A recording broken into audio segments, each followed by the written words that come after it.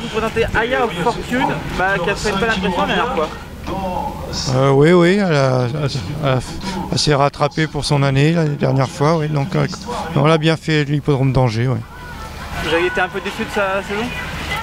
Bon, un peu, oui, c'est un petit peu, ça a été un peu raté, un peu. Est-ce que ce sera son arrière-saison alors peut-être pour elle?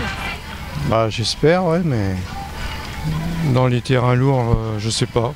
La dernière fois, c'était pas encore lourd, lourd, mais cette fois-ci, ce sera pénible, donc je sais pas si ça va lui convenir. C'est- bien pour elle. Ouais, ouais, c'est, bien pour elle.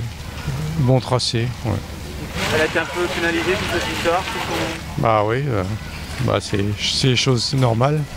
Au niveau de la condition physique, comment ça se passe? Bah, elle est restée bien. Non, elle est en forme. Vous attendez quoi là ce mercredi? Euh, qu'elle se comporte bien, hein. donc euh, bah, on va essayer de la mettre dans les 5 quand même.